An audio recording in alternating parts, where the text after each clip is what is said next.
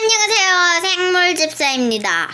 오늘은 어, 요즘에 새 식구들을 많이 입양했는데요. 일단 이 기존에 있던 청순이가 탈피했습니다. 탈피한 탈피각부터 보여드릴게요. 요렇게 됐는데 이렇게 청순이가 다리를 버리고 나왔어요. 얘가 좀 이게 건강에 좀안 좋았나 봐요. 그리고 탈피한 청소년 여기 잘 있습니다. 자, 그리고 쪽이 새로 입양한 저기 있는데요. 제 이름은 어, 골든 알지터입니다. 골든 알지터가 이렇게 있고 한 마리 더 있습니다. 골든 알지터 두 마리. 한 마리가 더 있었는데, 아, 그 친구는 다른 물고기인데요.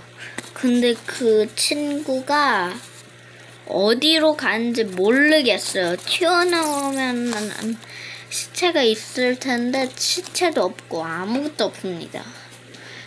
뭔가 알지터가 잡아먹은 것 같아요. 알지터는 그 에, 비실비실한 물고기도 다 잡, 공격해서 잡아먹는 친구이니 비실비실하게 생긴 물고기가 있으면 음, 절대로 키우지 마세요.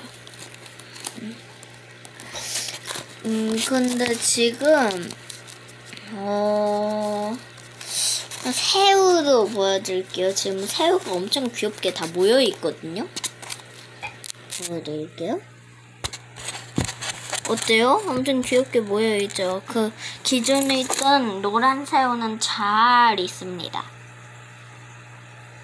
음, 근데 지금 청소애가 도망갔어요. 잠깐만요.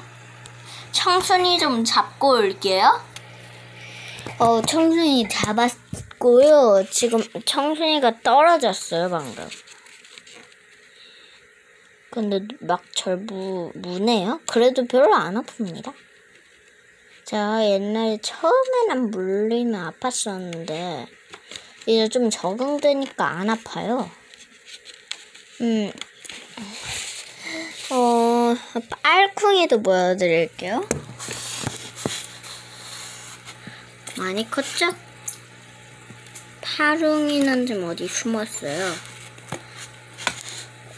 오늘은 여기서 끝내도록 하겠습니다. 자, 구독과 좋아요 꾹꾹 눌러주세요. 안녕!